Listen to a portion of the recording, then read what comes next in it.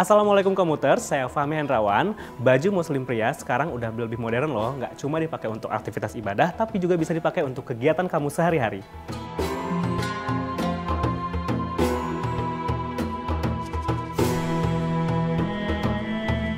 Fatih Indonesia adalah brand baju muslim pria modern pada berdiri pada tahun 2015.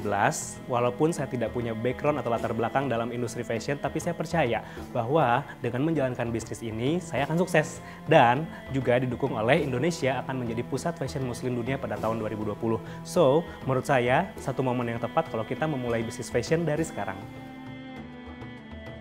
Pertimbangan saya untuk membuat bahkan muslim pria saja karena pria muslim harus menunjukkan identitas lewat gaya dan pakaian-pakaian yang lebih modern dan juga baju ini juga bisa dipakai untuk aktivitas sehari-hari tidak hanya dalam aktivitas ibadah tapi juga aktivitas keseharian para pria baik ke kantor, baik acara formal maupun acara informal.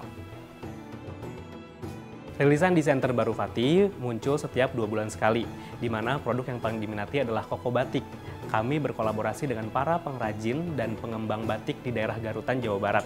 Kenapa? Karena menurut saya batik Garutan juga punya potensi yang luar biasa untuk dikembangkan, untuk dikenal sama masyarakat lebih luas lagi. Maka dari itu, setiap keluar desain terbaru, saya selalu bekerja sama dengan para pengrajin batik di daerah Garut, Jawa Barat.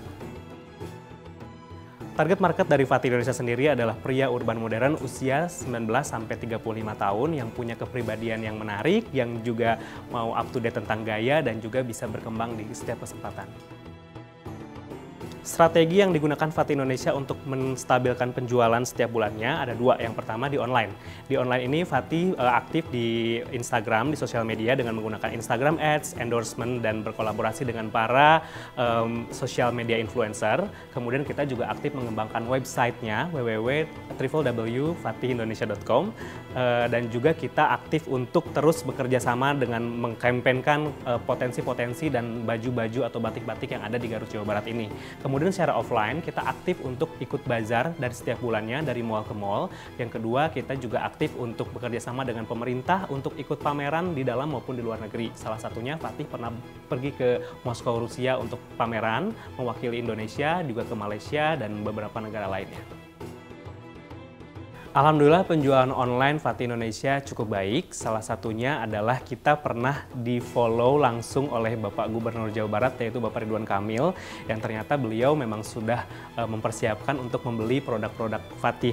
Nah dari situ juga kita langsung uh, kontak dengan Pak Ridwan Kamil sampai akhirnya kita dikasih kesempatan untuk bertemu langsung dan disupport langsung oleh Pak Ridwan Kamil secara uh, promosi dan akhirnya impactnya ya kita menjadi followersnya kita tambah naik, penjualannya juga kita tambah naik dan akhirnya yaitu manfaat endorsement dan uh, support dari Bapak Ridwan Kamil sangat begitu besar.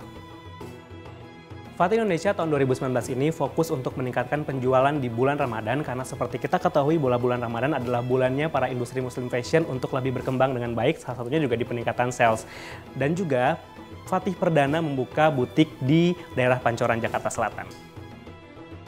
Perkembangan industri muslim fashion di Indonesia berkembang sangat pesat sekali akhir-akhir ini. Persaingan juga di mana pun pasti ada, salah satunya dengan para pesaing Fatih Indonesia. Tapi kita tidak khawatir karena Fatih akan terus fokus untuk meningkatkan kualitas produknya, menjalin hubungan yang baik dengan customer loyal kita. Salah satunya juga mengadakan customer gathering, juga kita mengadakan kumpul-kumpul membahas isu-isu dan yang sedang hangat pada saat ini. Lakukan yang terbaik yang ada di depan mata, selanjutnya biarkan tangan Tuhan yang bekerja.